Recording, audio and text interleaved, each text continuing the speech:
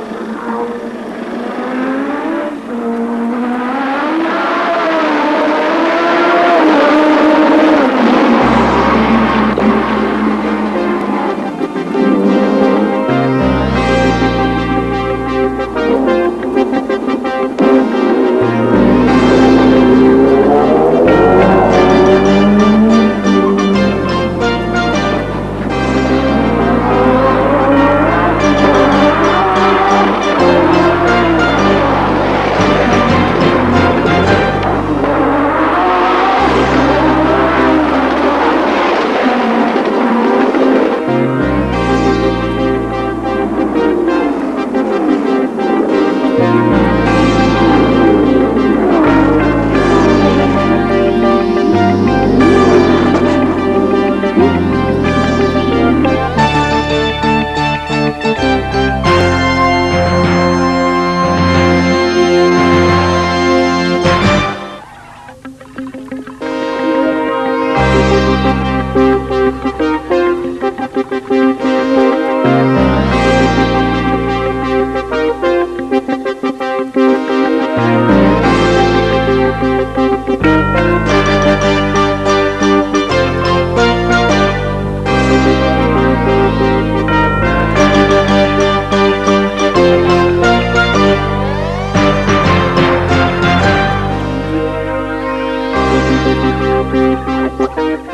den Capri zu tunen optisch